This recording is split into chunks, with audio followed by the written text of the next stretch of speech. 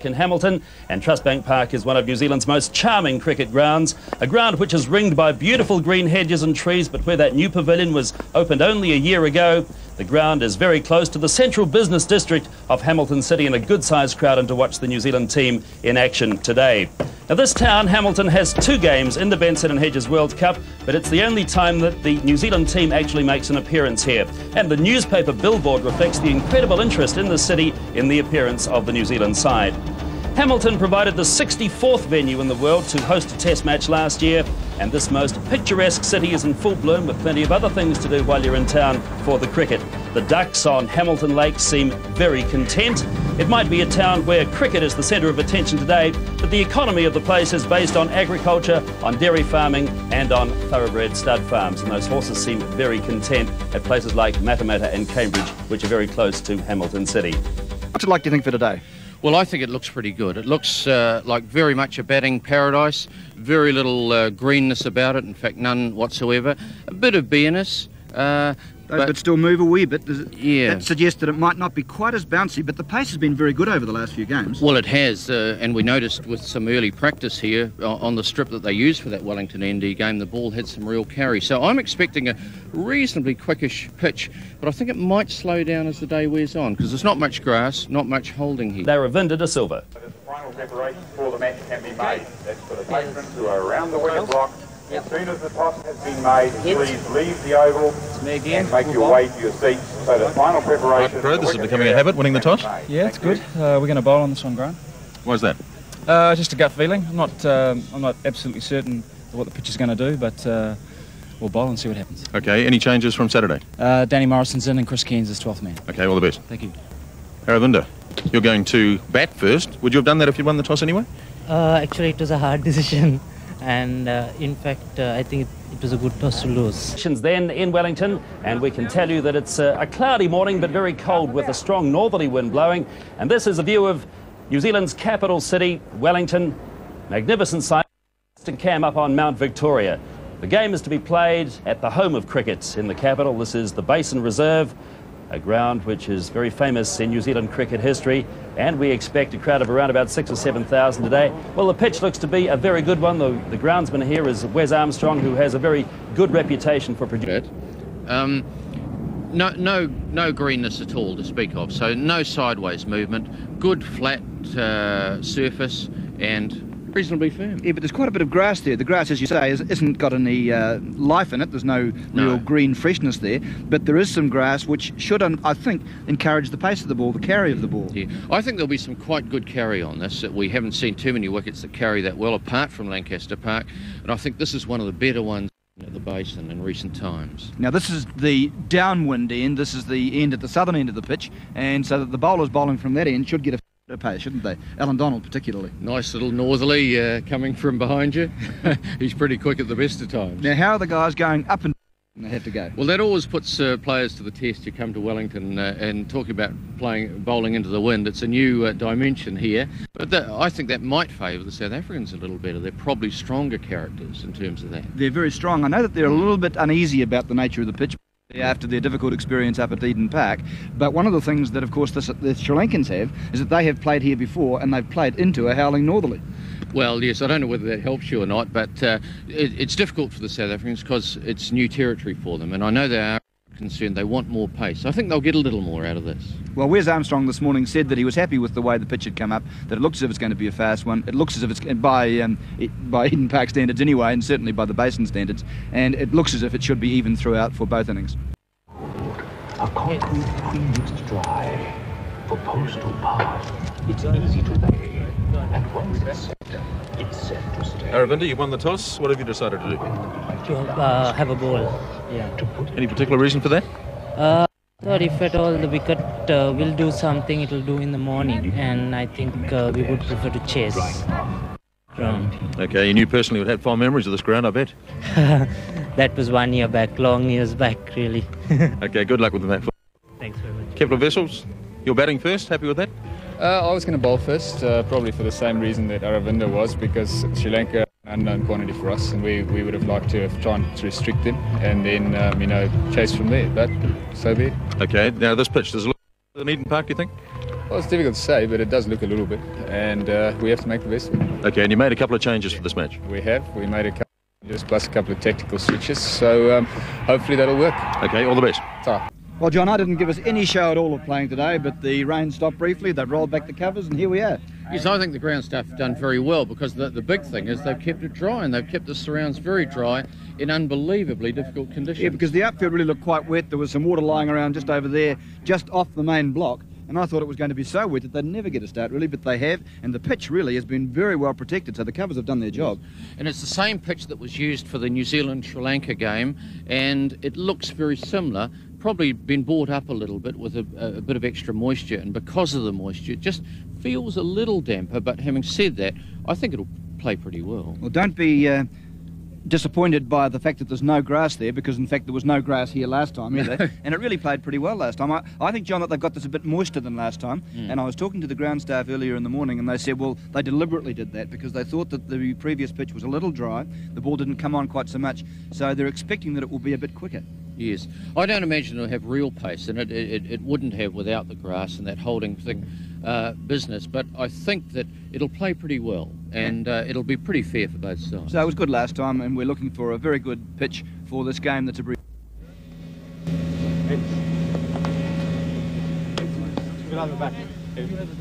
Well, gentlemen, it's amazing we're playing at all. Uh, Mohammed, you've won the toss and decided to.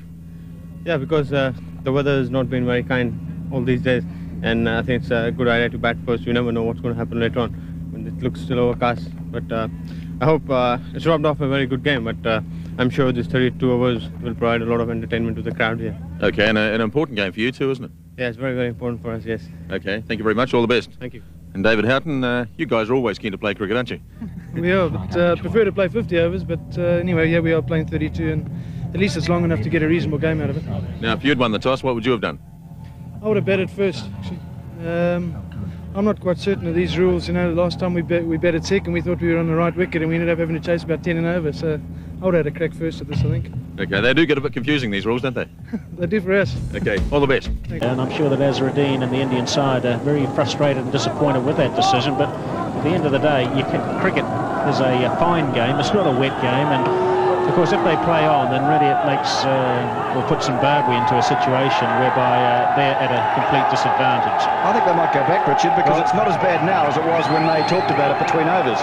No, and that's probably a fair enough decision too. So this is what's happening out here. The weather uh, very inconsistent, and they're going to continue. Much to the delight of the crowd, particularly the Indian contingent that's here today. Well, that must be a huge relief to Azharuddin. The ground staff are ready, but they're back into the hutch with the covers for the moment. And it's exactly right, too, because if they had come off, their chances of getting back out would be very slight with the way the weather's been. However, I tell you what, it's absolutely pouring here, and I think they're going to leave the field. They are, but after after 19 overs, they needed to be 158. If they don't come out again, they needed to have got through to 158, which were the nine, uh, after 19 overs, they were the best 19, should I say, that uh, India put together, and so they're certainly well short of that. Well, it's uh, torrential rain coming down now. It really is. The skies have opened up, and this has been threatening all afternoon, really, and it's finally happened. And they're going to rush the covers on, but my word, there be, could be some damage done in the meantime because absolutely pouring. Just look at that. England and Zimbabwe. And unfortunately, it's going to be a reduced overs affair today. They call this the Sunny Hawke's Bay. It's anything but a sunny day in the bay today. And It is. Jules. Jules. You guys can have a bit. David Houghton, uh, you won the toss. What have you decided to do? Um, go back to the change room and wait till it uh, warms up a bit. a bit cold, isn't it? yeah, it is. Um, they're going to bat. We'll have a bowl first. Okay, what do you think of the pitch? Looks pretty good. I'm not too sure how it's going to play though. You know, just looking at it last night, it looked a little bit up and down. It, sort of reasonable pace, but it's going to be two bounces. Okay, and the boys confident going into this game? Very much so. Jolly good, all the best. Thanks very Cheers. much. Cheers, Craig. Thanks, Dave. Good luck. Martin Crowe, you're going to have a bat. Happy with that? Well, it's a bit overcast, but uh, looks a pretty good wicket. Now, New Zealand always does well here, don't they? I don't know if we've won or lost all our games, but uh, we certainly enjoy coming to Napier and uh, we hope for a big crowd and, and, perhaps the sun comes out as well. Okay, and the players not playing today? Willie Watson uh, is resting, uh, John Wright, Murphy Su'a. Now, Andrew Jones has come out and the players are going to go off. He only just got there and the players are rushing from the field. Umpires Karl Liebenberg and Julius Bulchins have said that it's too wet to continue and so this is really bad luck for New Zealand and for Zimbabwe. Oops, down he goes. Anyway. well, he's gone for a few. now, rather ungainly, isn't it? He's got a sense of humour, Peter, hasn't he? Well, you have to have, don't you? A bit like the Mike Gatting delivery of a few years ago when he came out to New Zealand in 78, but just losing all his poise and slipping there. Oh, that back foot, look at that. Down you go. That's dangerous. Well, actually, he turned right over on it. He, he didn't put his sole down at all. He almost turned completely over and put the side of his foot down on the ground. Well, we see the funny side of it here. He probably does a pain.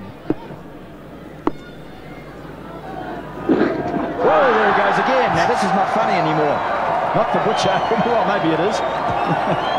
well, I don't think those studs uh, are long enough for those conditions out there, really. And, of course, they're going to gather a little bit of grass clipping as well, which is going to sort of, uh, you know, make it harder for the studs to get gripping into the uh, into the pitch condition. But oh dear, dear. Well, two out of three ain't bad.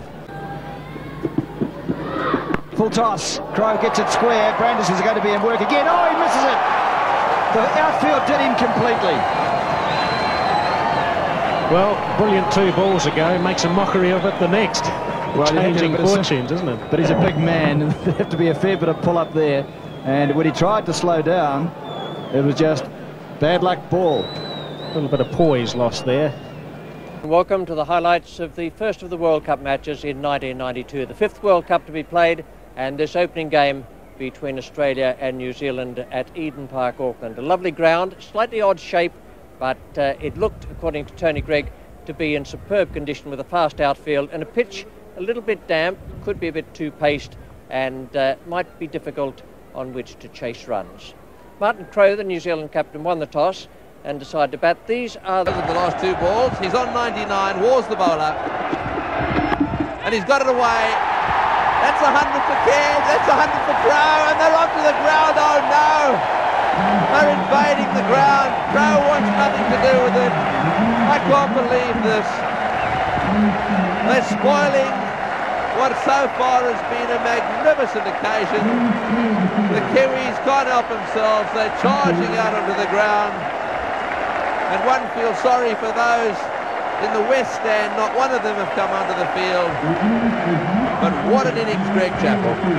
Magnificent innings, Tony, and a very fitting century here for Martin Crowe. He's had a very And that's going to be the first boundary of the morning. That was a good shot.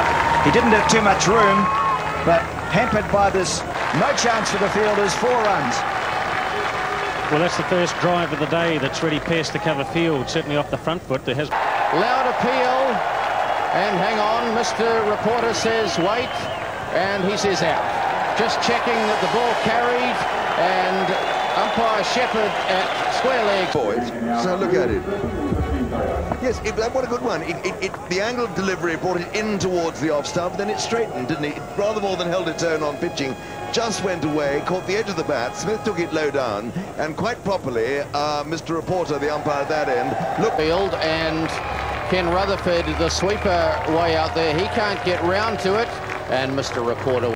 For the third weekend in succession, the unbeaten New Zealand cricket team is on show at Eden Park in Auckland for their fifth match in the 1992 World Cup. It's a fine and humid day, and this pitch for this game against the West Indies is being used for the first time in the World Cup competition. The forecast for today is for some showers during the day, so I wonder if that's going to affect the uh, thinking of the captain who wins the toss. Let's go out to the middle for the toss now. Richie Richardson of the West Indies, Martin Crowe of New Zealand, and they're out there with Keith Quinn. We're going to bowl. Um, see if we can get them out early. What do you think of the conditions here this morning? Remarkable transformation. Yeah, fantastic. I, uh, I, I expected a delay, but uh, they got everything right, and um, looks as though it's going to be a reasonable day. Okay, Martin, your team's been more or less published. Can you confirm for us that uh, the three guys who are not playing? John Wright, Chris Cairns, and Murphy Su'a. Okay, Martin, thank you. Thank Play you, well. Keith. Thanks. Thanks. Richie Richardson, would you have liked to have won that one? Well, if I'd won, I think I would have batted. So It's worked out pretty well yeah, then. It didn't matter really. Um, I think uh, the wicket looks good. Uh, um, but the outfield is pretty wet to me, and uh, I believe you know bowling with a wet ball would be quite difficult. So, you know, I would have. It's not nice and humid here today. Is it a bit more, more like conditions at home? Well, um, well, uh, this, yeah, the sun is shining, the skies are blue, and um, that's what it's normally like. But apart from the green outfield, I mean, it's you know, very much like home. Yeah. Okay, Richie, who's uh, not playing in your team today? Um, Simmons, uh, Patterson, and uh, Harper. Uh, So comedy of errors there. Mushtaq, the bowler's been hit on the head now by the ball being thrown in. It's a real comedy of errors here. The first comedy of errors that he wasn't watching. Yes, the ball was just underarm to him. Actually, it wasn't thrown all that hard. It was just underarm to him. But it hit him smack on the forehead. It gave him the shock of his life.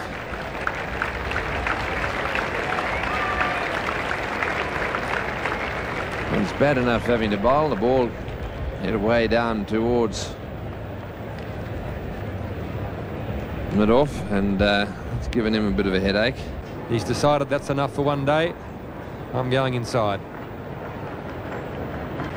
It's about a length here, and you can see that it's, it's very, very hard indeed, but I'm sure that you've noticed the grass, John. Well, I have. I'm, I must say I'm a little surprised, uh, Peter, uh, when I came out here and I saw the pretty lush, juicy green grass. Sure, you're right. there- There's a reasonable base. It sounds pretty solid. It does. A little more solid than some of the other ones we've seen. And of course, there's been so much discussion about the slow wickets.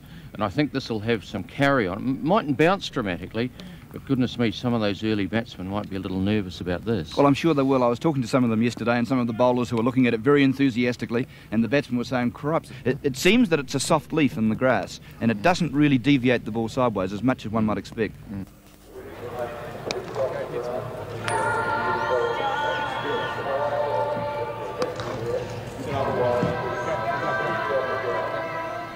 Richie Richardson, you won the toss. Uh, what's your decision on this one? well, I think in these conditions, uh, we're going to have a ball. Uh, I think the wicket look uh, probably a bit of moisture in it, and uh, with the overcast conditions, I think uh, it would favour our seamers a little bit.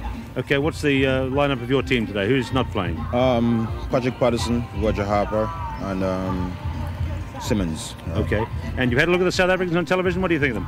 Well, they're a very enthusiastic team. They, you know, they're very keen, and you can't really take them lightly. Okay, Richie, good luck. Thanks Thank very you. much. Thank Thank you. you.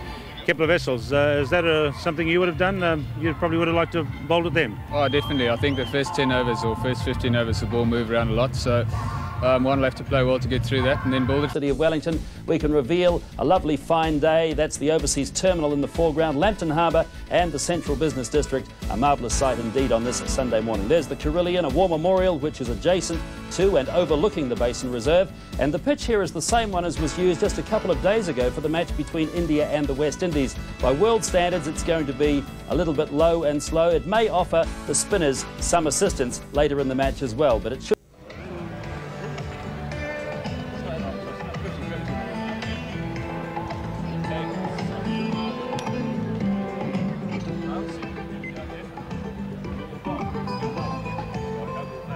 Martin Crowe, Crowe won the toss, and you're going to Have a bowl. Why is that? Um, we've just uh, we've chased quite well, and uh, I just think we'd like to get our, our side out here as uh, as a unit, field well, and do the job. Okay, marvellous atmosphere here too. It should be great, huh? Yeah. Tremendous. Okay, all the best.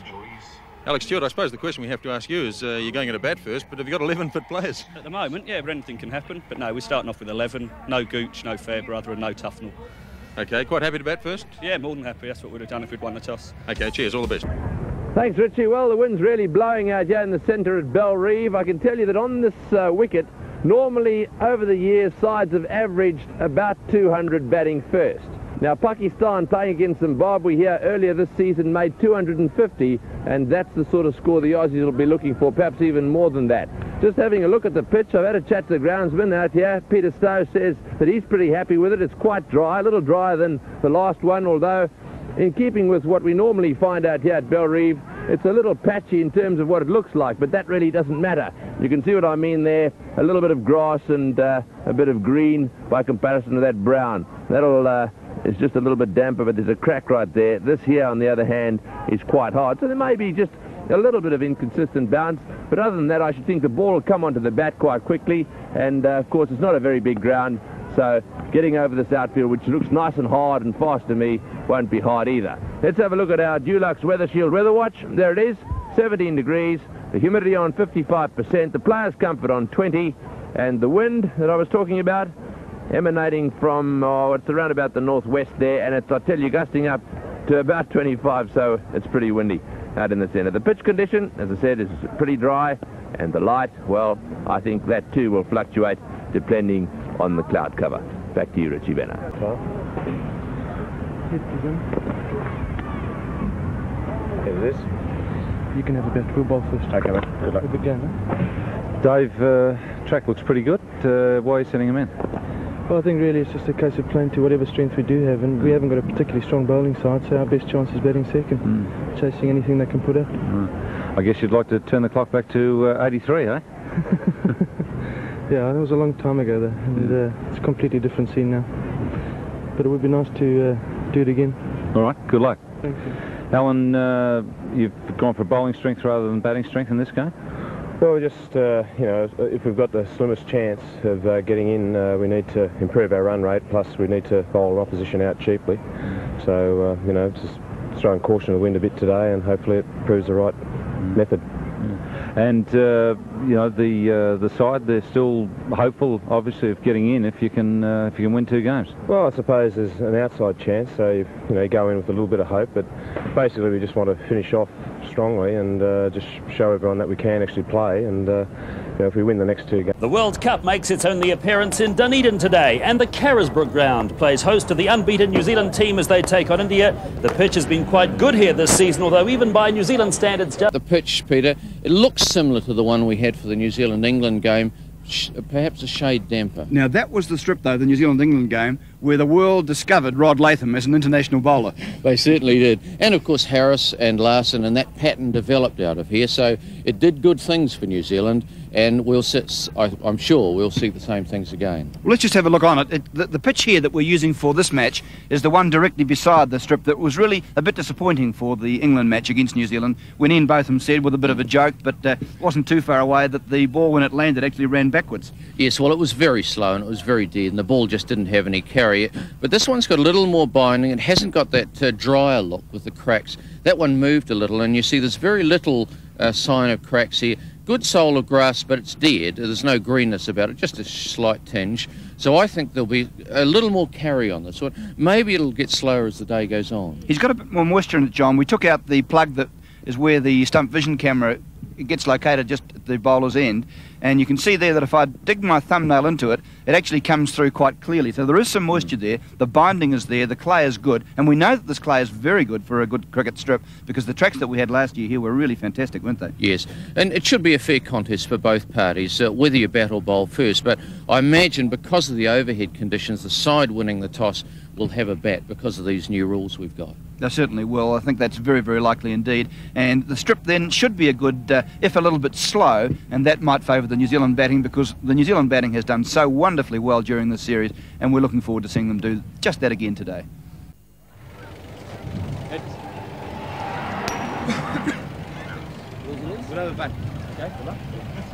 Mohammed Azharuddin, you've won the toss here this morning. Uh, what are you going to do? We're going to bat. You happy with the batting conditions, obviously? Yeah, yeah, I mean, it looks a bit dicey, the wicket. I don't know how it's going to play later on. But uh, I think it's always best to bat on a wicket when you don't know what's going to happen later on. What do you think of the weather conditions here today? Ah, A bit it's a cool? bit cold, yeah. It's like playing in Derby. playing at Derby. And who's in your team today? Who's not playing today? Uh, Ravi, Amre, and Kambli not playing. okay, thank you very much. okay, Good luck. thank you. thank you very Good much. Martin Crowe's here. Martin, uh, you happy with that? Uh, you'll be in the field first. Yeah, we, we were going to bat actually, but uh, we'll get out here and experience the cold first. Yeah, it is a bit cool, isn't it? Yeah, and we're going to leave Righty and uh, Murphy Su'a and Danny Morrison uh, warming in the, in the changing room. Making the tea. Okay, Martin, play well. Thanks, Thanks, very Keith. much. Thanks. And he's put this one in the air, and he could be out, and he is out. Held by Kevin Duers. The Samarasekera goes for 75. It's 128 for one in the 22nd over. Thoughts? Good catch taken by Traicos, and that is the end of Mahanama out for 61. It's 144 for two in the 28th over. Curtis has run out, sent back by Aravinda, and that's a big breakthrough for Zimbabwe. The third wicket falls at 155 in the 30th. Gift down to mid-on, gratefully accepted. And Aravinda goes, and uh, Sri Lanka in real trouble now. Their best batsman is out for just 13. Jayasuriya goes. Good work by wicketkeeper Flower, and the change of bowling did the trick. The captain takes.